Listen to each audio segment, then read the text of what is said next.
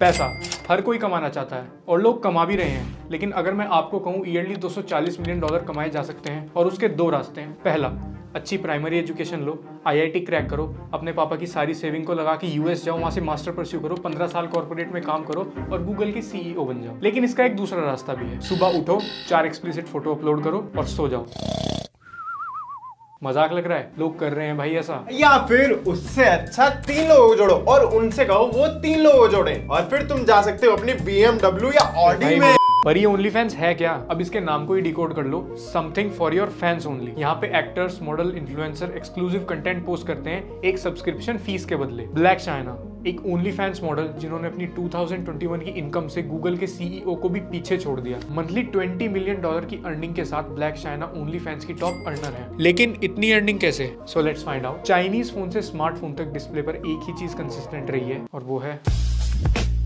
अगर आप भी इस साउंड को पहचानते हैं और मेरी बात से अग्री करते हैं तो कॉन्ग्रेचुलेशन हेल वेलकम्स यू तो ऑनलाइन एजुकेशन ऑनलाइन जॉब्स और ऑनलाइन बैंकिंग के बाद अब बारी है ऑनलाइन स्ट्रिप क्लब्स की which is known as OnlyFans Some workers are taking up two or more jobs to make ends meet. Some are selling and posting their photos and videos on online platforms. School district is firing teachers who they say filmed sexually explicit content on school grounds. The husband and wife were making content for the subscription site OnlyFans.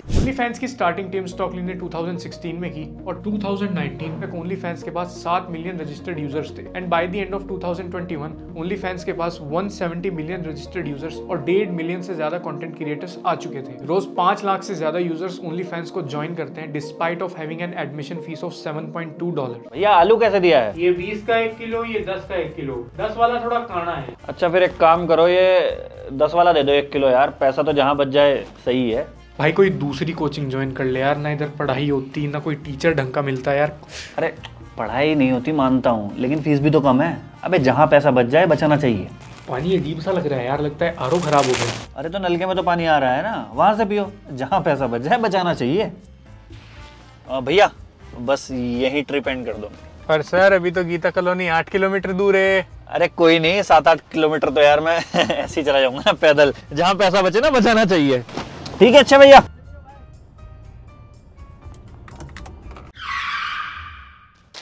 ये ले पूरे महीने की savings और कुछ तगड़ा सा माल दिखा दे। बाय 1970s अमेरिका में स्ट्रिप क्लब भी एस्टेब्लिश हो चुके थे और पूरी एडल्ट इंडस्ट्री ऑफलाइन सेटअप हो चुकी थी और ऑफलाइन छिनाला पूरे तत्पर था। बट फिर जन्म हुआ इंटरनेट का। So now, anyone with internet access can easily download limitless amount of dirty movies. 2005 में YouTube के लॉन्च के बाद कुछ इंटरनेट नर्स ने YouTube की फंक्शनैलिटी को कॉपी पेस्ट करते हुए अपनी इन वेबसाइट्स को जन्म दिया। अब ये वेबसाइट्स यूज़र को फ्री में एक्सप्लिसिट कंटेंट प्रोवाइड किया करती थी और इनका रेवेन्यू मॉडल भी यूट्यूब जैसे सेम था एड्स रन करना। लेकिन कोई ऐसे वैसे एड्स नहीं। तीन सिंगल भाभियाँ आपका इंतज़ार कर रही हैं। कहाँ? अरे सिर्फ़ 500 मीटर दूर। चलेगा। चलो चलो। देखा था नंबर। लगे हाथ आईफोन भी दिलवा दूँ? सिर्फ़ एक रुपए में। दे क्रेडिट कार्ड जाति प्रमाण पत्र Aadhaar card PAN card metro card ration card और तुम्हारा शादी का कार्ड भी। हर रोज दो इंच लंबा। हाँ हाँ कराना तो था। अभी ऑर्डर कीजिए जापानी ते सो ईयर 2010 अब पूरी एडल्ट इंडस्ट्री का कंट्रोल सिर्फ़ कुछ लिमिटेड लोगों के हाथ में था, जिसकी वजह से अडल्ट वर्कर्स अंडरपेड हो गए और सारे स्ट्रिप क्लब भी क्लोज होने लगे। CEO of OnlyFans Tim Stokely को एक बिज़नेस अपॉर्चुनिटी दिखी और उन्होंने अपनी एक वेबसाइट लॉन्च कर दी कस्टम्स फॉर यू जहाँ यूज़र अपने फेवरेट कंटेंट क्रिएटर की वीडियो एक सर्टेन अमाउंट पे करके बाय कर सकते थे। और इस बिज़नेस की स्टार्टिंग उन्होंने अपने फादर के साथ की। और एक तरफ़ तुम अपने बाप को गोवा ट्रिप के लिए भी नहीं मना पाते।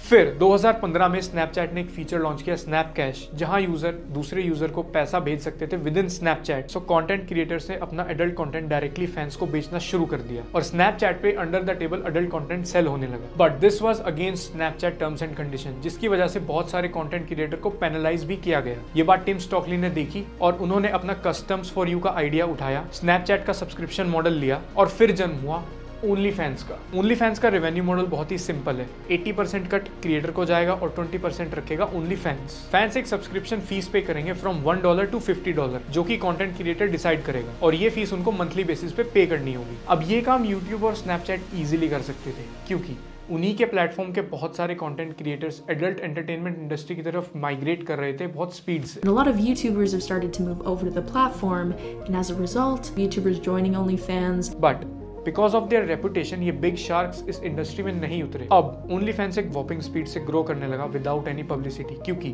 ओनली फैंस का प्रमोशन दूसरे सोशल मीडिया प्लेटफॉर्म के इन्फ्लुएंसर खुद ही करने लगे। बहुत सारे यूट्यूब वीडियोस और सक्सेस स्टोरीज के आर्टिकल सामने आने लगे कि I made this much amount from OnlyFans in 24 hours blah blah blah iPhone gold chain आलीशान बंगलो करती क्या हो मैम आप? अरे मैं इन्वेस्टर हूँ बहुत बड़ी। Bitcoin market stock market and these future months and this much that much only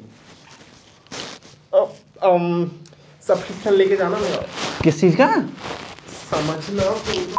Indian bloggers और कंटेंट क्रिएटर्स की तरह भी ओनली फैंस के सक्सेस का एक बड़ा कारण बना covid 19 pandemic before covid OnlyFans का टर्नओवर था 362 crore rupees and after covid उनका टर्नओवर पहुँच गया था 2000 करोड़ रुपए से भी ज़्यादा. ईयर 2020 में ही ओनली फैंस ने 20 मिलियन से 120 मिलियन यूज़र बेस की ग्रोथ पा ली थी. ओनली फैंस की ग्रोथ का एक बड़ा रीजन बना job loss in covid 19 pandemic youth को एक ईजी मनी बनाने की अपॉर्चुनिटी दिखी so they started migrating on OnlyFans अब क्लाउड चेजिंग के लिए ओनली फैंस पे बहुत सारे सेलिब्रिटीज ने भी आना स्टार्ट कर दिया था, जैसे कार्डी बी अमेंडा सरनी और डीजे खालिद डीजे खालिद का ओनली फ़ैन सब्सक्रिप्शन कौन खरीद रहा है यार? डीजे खालिद यहाँ सिर्फ़ मोटिवेशनल स्पीच देने का काम करते हैं और कुछ नहीं। पापा, मैं तो डीजे खालिद की मोटिवेशनल वीडियो देख रहा था। ये हाथ लग गया, इसलिए ये वाली वीडियो प्ले होगी।